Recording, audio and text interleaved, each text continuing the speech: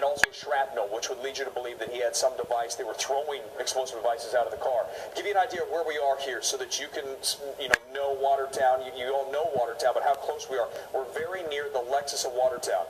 Okay, you're right there. You're gonna, you know, kind of hang that left if you're if you're going uh, if you're going east, Dexter Avenue shoots off there, juts off, and right down the street, Laurel and Oaks. And we're very near the Lexus of Watertown, as uh, they are going house to house with this older model sedan that's behind that SWAT truck. We've seen throughout the morning one door ajar, the driver door open, um, and they are searching for this suspect number two.